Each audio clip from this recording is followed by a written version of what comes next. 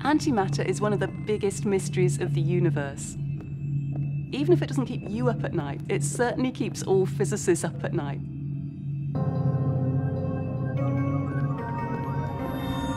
The mystery of antimatter began in 1928, when a new mathematical equation predicted the existence of a mirror particle, the same as matter in every way, except with an opposite charge. This peculiar calculation wasn't taken seriously until four years later.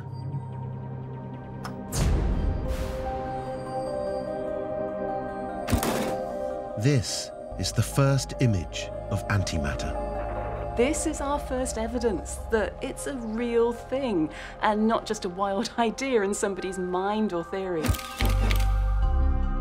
American physicist Dr. Carl Anderson captured the astonishing evidence while studying pathways made by cosmic rays.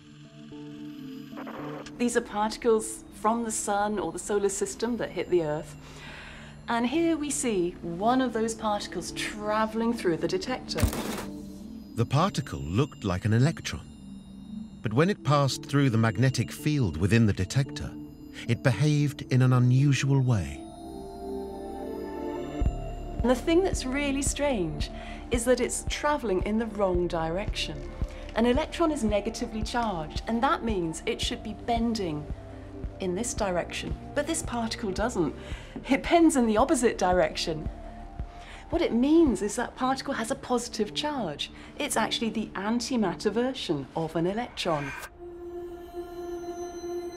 Without this incredible image, antimatter might have slipped back into the shadows.